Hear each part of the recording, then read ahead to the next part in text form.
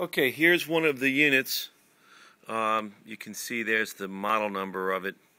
Um, here's the power connector, and then there's an on-off switch. The that's the air blower comes out of it. This is the uh, RF output on it. And then this is the inside.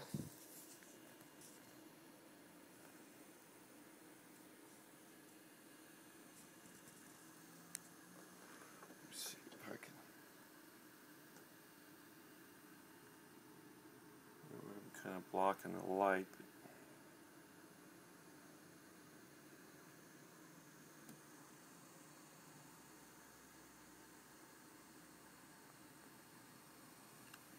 Here's the tube, high voltage section down there.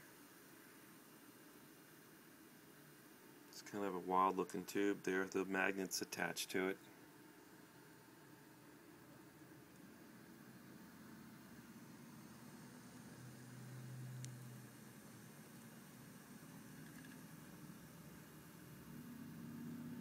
Cooling fan right here.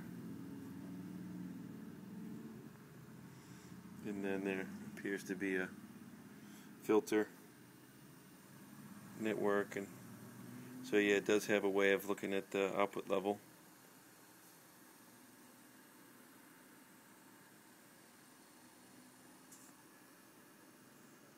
Okay.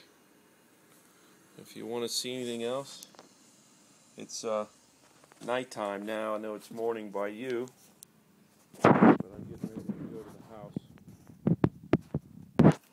turn in.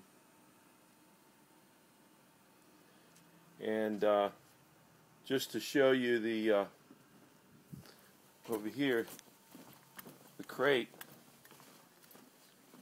we were talking about. This is a like a pad that was underneath it originally, but these are the ledges that lock it in, and then there's like a foam padding between these boards. It's, the the boards are glued to the foam.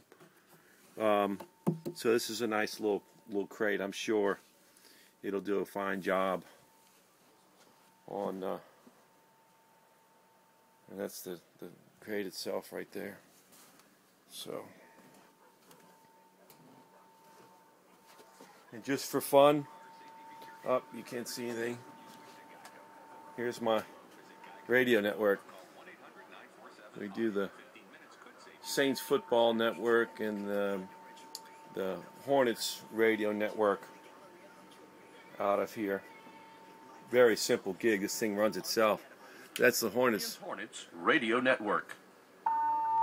That's them right here. Getting, they've got a game tonight. This is the New Orleans Hornets radio network. It's channel two. It's Channel 2, and then my other client, WWL Radio out of New Orleans, do the Saints. Anyway, okay, talk to you soon.